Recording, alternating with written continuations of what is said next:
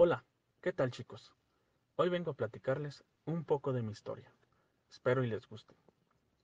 Mi nombre es José Fernando Antonio Montes de Oca Rodríguez, mejor conocido como Fernando Montes de Oca. Nací en Santo Domingo, Azcapotzalco, el 29 de mayo de 1829.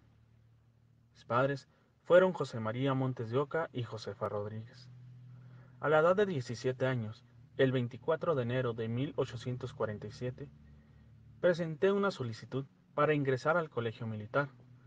Fui llevado por un motivo verdaderamente loable y patriótico, ya que mi deseo era servir a la gloriosa carrera de armas.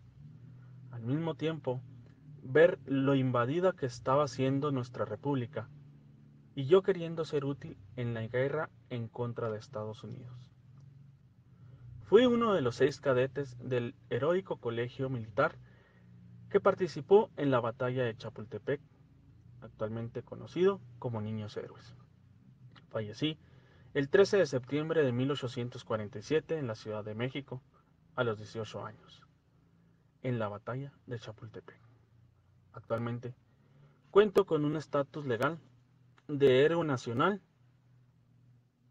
y una condecoración llamada Medalla de Honor en la Batalla de Chapultepec. Gracias.